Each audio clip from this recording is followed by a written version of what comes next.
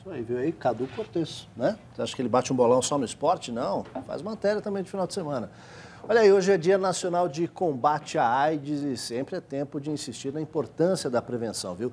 Nos últimos seis anos, os casos de HIV entre os jovens aumentaram 50%. A repórter Beatriz Butiano está no Hospital Emílio Ribas, que é referência no controle da doença, onde acontece um simpósio sobre o tema. Boa tarde.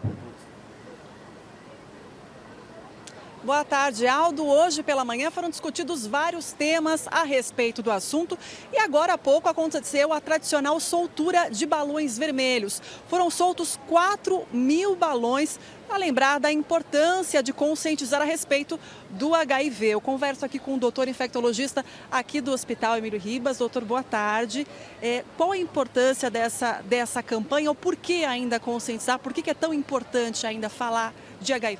Esse é um Dia Internacional Mundial de luta e combate à AIDS, mas o mais importante é que apesar de nós termos evoluído com toda a tecnologia uh, para diagnóstico, com medicações hoje cada vez mais uh, desenvolvidas, por outro lado, nós ainda erramos na prevenção. Hoje nós tivemos no Brasil um aumento de 11% no número de casos de AIDS, especialmente em jovens de 15 a 24 anos. E exatamente é o motivo da campanha que nós fizemos hashtag Use Camisinha para as redes sociais, para a gente falar a língua do jovem, mas muito mais do que a língua do jovem, que as pessoas possam, nas suas casas, fazer essa hashtag e falarem para seus filhos, para seus netos, para seus amigos e a gente poder quebrar um tabu que é o uso do preservativo. Não adianta mais esses pais virarem e dizer, eu não vou falar isso agora porque a minha filha ainda é jovem e daí ela chega grávida e com uma doença, por exemplo, como HIV. Esse é o perfil atual do soro positivo, seriam os jovens? Infelizmente, eles uh, representam aproximadamente uh, eh, 60% do número total de casos. Isso para nós nos preocupa muito, uma vez que os jovens são o futuro do nosso país. A gente teve hoje aqui no simpósio algumas discussões, uma delas a respeito da cura. Quais são os avanços? Como é que é feito o tratamento hoje do soro?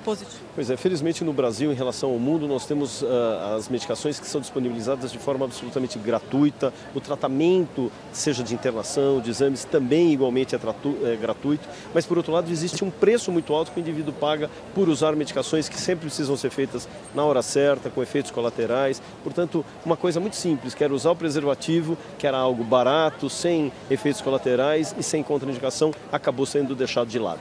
O hospital aqui é referência no tratamento, né? A pessoa que tem a suspeita que pode ser soro positiva, ela pode procurar a rede pública também? Como é que é feito esse, esse atendimento? Pois é, ele é feito no sentido das pessoas fazerem os seus testes na, nas unidades básicas de saúde e aí elas são referenciadas para os hospitais da sua região. Claro que o Emílio Ribas está sempre com as portas abertas, ele albergou sempre todas as epidemias, inclusive a epidemia de AIDS, que uh, acabou sendo assolada em 1980. Mas o pior, essa é uma epidemia que continua matando aproximadamente 12 mil pessoas por ano e nós temos quase 40 mil novos casos por ano de eh, pacientes diagnosticados no país.